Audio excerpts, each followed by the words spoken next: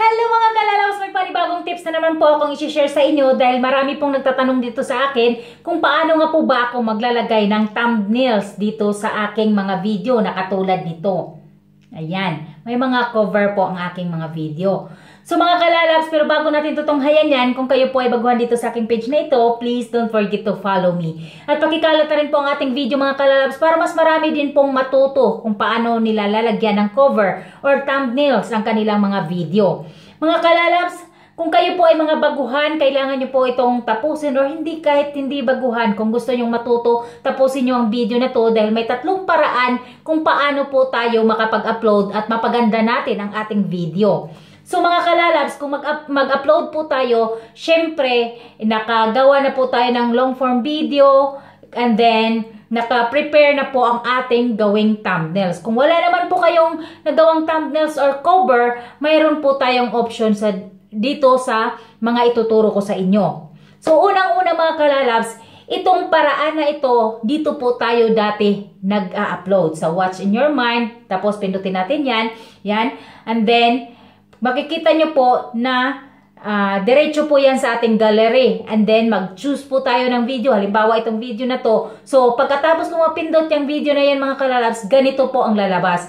So, wala po siyang option kung paano tayo maglagay ng cover. Kumbaga, or thumbnails. Kumbaga, para matatakpan or para mabigyan ng hint yung ating mga viewers na sa thumbnails pa lang ay maganda na. Dahil minsan, kapag mag-upload po tayo na walang thumbnails or walang cover or hindi tayo makapag-choose, si Meta mismo ang mag-choose ng ating video. Minsan, blurred ang nasa harapan. So mga kalalabs, ngayon, alam nyo po na nawala na po yung Creator Studio. So may A-B testing pong ginawa si Meta dito sa kanyang platform. Itong A-B testing, kapag nakikita nyo na po yung uh, notification na yan or sa inyong mga uh, monetization station tools or mga next steps, nandyan na po ito. Ayan, ang paggamit ng, uh, i-try po natin paggamit ng A-B testing. So, paano po natin ito gagamitin? Ito po, pakinig ka mo, kayo. So, mga kalalaps, dito po sa ating uh, news feeds, ito, nakikita nyo po itong plus sign sa taas. Yan. Pipindutin po natin yung plus sign. And then, ito po yung lalabas. So, mayroong reels, live, or long form video.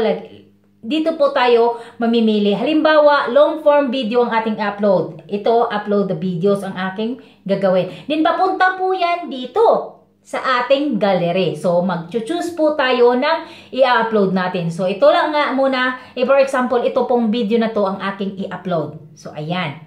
So, dito mga kalalabs, makikita mo, may title, description, tsaka dito sa baba, pwede po kayong mamili kung anong uh, i-cover nyo po para mas maganda ang kalalabasan or ang simula ng ating video. Or pwede rin po tayo makapag-add ng uh, cover kung mayroon na po tayong nagawang specific na magandang uh, thumbnails na ating ginawa bago tayo mag-upload. Or mga na-screenshot na magandang post natin yun ang ating gagamitin. Kung wala naman, dito po, mag, gumagalaw po ito, mamimili po tayo dyan sa mga boxes na yan, kung alin ang ating i-cover. So, ayan mga kalalabs, yan po ang unang paraan. Ito po ay sa page ko po ito. Hindi ko lang po ma...